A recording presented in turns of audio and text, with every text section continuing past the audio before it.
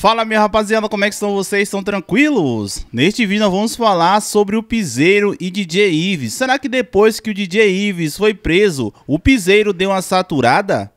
Algumas pessoas eu venho acompanhando no comentário e falam isso constantemente. E se eu te falar que não, segundo o G1 dos principais sites da Rede Globo, após o DJ Ives ser preso, não afetou o piseiro. Vem entender este vídeo. Mas antes do assunto, eu gostaria de pedir para você que está chegando aqui agora, primeiramente, seja bem-vindos ao nosso humilde canal. Não se esqueça de se inscrever aqui embaixo, ativar o sininho de notificações e, é claro, deixar o seu like para você ser lembrado toda vez que eu postar conteúdos novos aqui aqui. Lembrando a todos que este é um canal de entretenimento onde eu trago notícias, polêmicas, histórias, curiosidades e muito mais. Por isso que é muito bom você ser inscrito e ativar o sininho de notificações. Pois é, rapaziada, nós sabemos que o DJ Ives, sem sombra de dúvida, foi um dos caras que levou o piseiro onde ele está hoje. Porém, com a prisão dele, ficou uma dúvida na cabeça das pessoas. Segundo algumas pessoas que eu venho acompanhando aqui nos comentários, fala que depois que ele foi preso, o piseiro deu uma saturada. E se eu te falar que não, que muito pelo contrário, depois da prisão do DJ Ives, o piseiro continua o mesmo. Porém, nós não podemos negar a força do DJ. Como nós sabemos, a pisadinha, ela surgiu ali no início dos anos 2000 com nada mais, nada menos que Nelson Nascimento. Posteriormente, ela deu uma grande saturada e de 2017 para 2018 por ali, é, os Barões da Pisadinha, juntamente com Anderson e o Velho da Pisadinha, trouxeram esse gênero novamente, onde ganhou o Brasil. E hoje a pisadinha, sem sombra de dúvida, se tornou aí um dos grandes concorrentes de outros gêneros brasileiros, como o funk e o sertanejo. E uma das pessoas que, como eu falei anteriormente, que ajudou bastante o Piseiro ser quem ele é hoje, tanto com suas produções musicais, tanto com suas composições, foi DJ Ives. E quando ele estava no auge, com músicas nas vozes de outros cantores, com alguns feats marcados, DJ Ives foi preso. E algumas pessoas estavam preocupados, falando que o Piseiro poderia dar uma saturada com a prisão do DJ. E o G1 dos principais sites da Rede Globo falou um pouco sobre esse assunto. Eu vou ler aqui para vocês para posteriormente eu falar a minha opinião sobre esse caso. Como vocês sabem, mesmo com a prisão de DJ Ives, praticamente as 10 músicas mais tocadas do Brasil hoje no Spotify,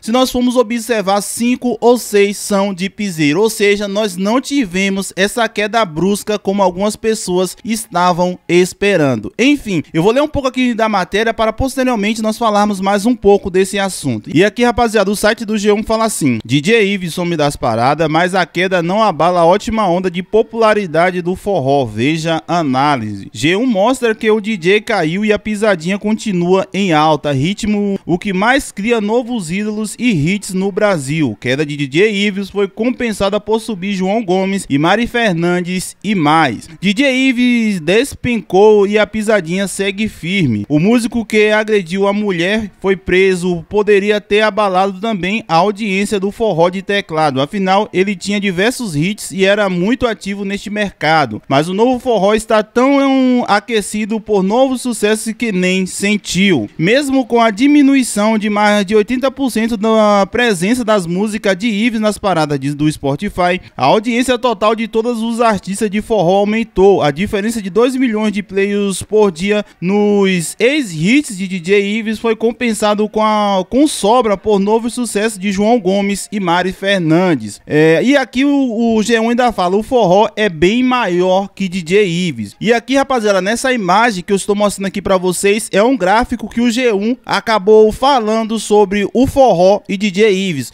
onde ele quis falar aqui que o forró era muito maior que o DJ Ives. É que eles colocam, o, o forró é bem maior que DJ Ives. Veja as audições totais do forró, que essa linha que está aqui em vermelho, e o dia azul é de DJ Ives. Ao sábado, desde maio, após os vídeos de agressões em 10 de junho, Ives despencou, mas o ritmo continuou bem forte, como vocês viram aí em vermelho, que é o, o, o, o ritmo do forró, e em verde é, as músicas de DJ Ives, em vermelho gráfico só fez subir, ou seja, nós não tivemos um impacto grande com, é, com a, a, prisão de DJ Ives. Claro, DJ Ives poderia fazer muita diferença e pode fazer dentro do nosso segmento, mas com ele, com ele preso também, a pisadinha não teve tanta queda assim. E aqui embaixo, o G1 ainda continua falando, Ives tinha um papel bem ativo para a pisadinha, mas o impacto de sua ausência para o futuro do estilo é limitado por vários motivos. O primeiro, a raiz popular do piseiro é firme e muito anterior à atuação de Ives. Vem do início dos anos 2000 com Nelson Nascimento e outros pioneiros. Ou seja, o que o G1 quis falar aqui,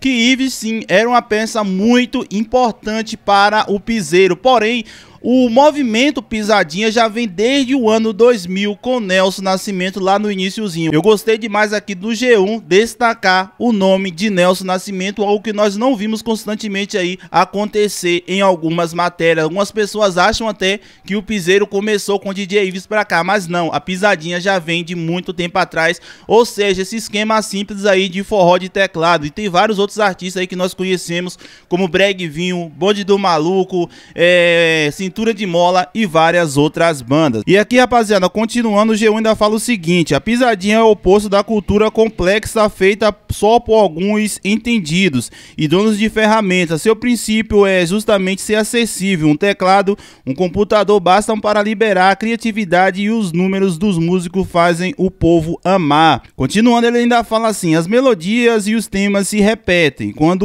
algo dá certo, muitos artistas criam a partir dali. Basta ouvir Senta Danada, nova música de Zé Felipe e os Barões da Pisadinha, é boa, colante e lembra várias faixas de Ives que lembra várias faixas de outros atores.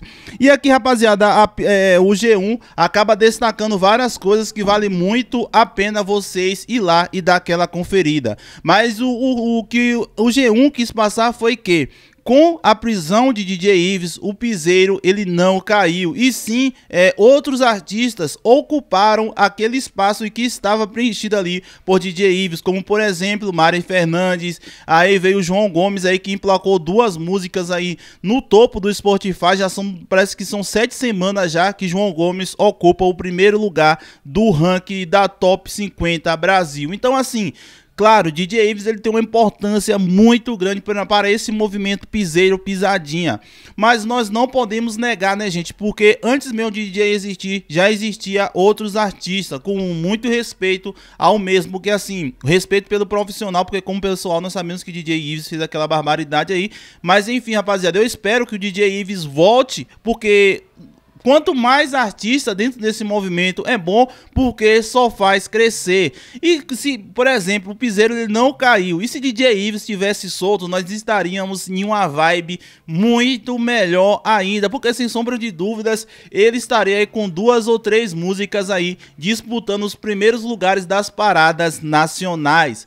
Mas enfim, qual a sua opinião sobre esse caso? Vocês acham que com a prisão de DJ Ives o piseiro caiu ou o piseiro continuou a mesma coisa? E se você sente falta das produções do DJ Ives, deixa aqui embaixo nos comentários, pois o seu comentário ele é muito importante.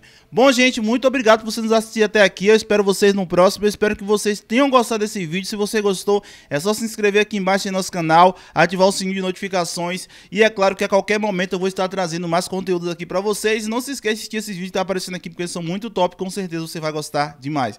Tamo junto, um abraço a qualquer momento.